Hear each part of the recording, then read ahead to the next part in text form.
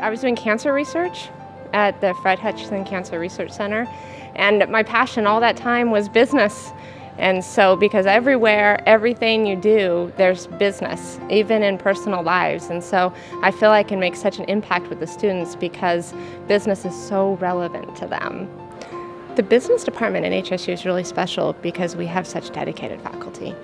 And we really have an open door policy. We're around and we're really accessible. We have this personal connection with our students and that's that's rare. That's different and that really makes it special. Plus because we are able to do so much hands-on learning, you can't get that at larger schools, at a lot of larger schools. And so it really makes Humboldt State really special. Makes the School of Business really special.